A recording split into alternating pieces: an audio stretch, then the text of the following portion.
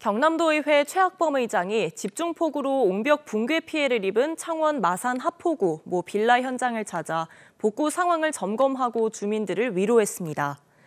BNK 경남은행은 김해시 조만강 범람으로 큰 피해를 입은 신문동과 풍유동 일대에서 봉사활동을 실시하고 김해시에 햇반과 라면 등 300인분의 물품을 전달했습니다.